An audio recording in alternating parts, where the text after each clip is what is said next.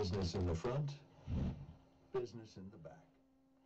The all-new 2021 Ford F-150 with new available interior and tail work services.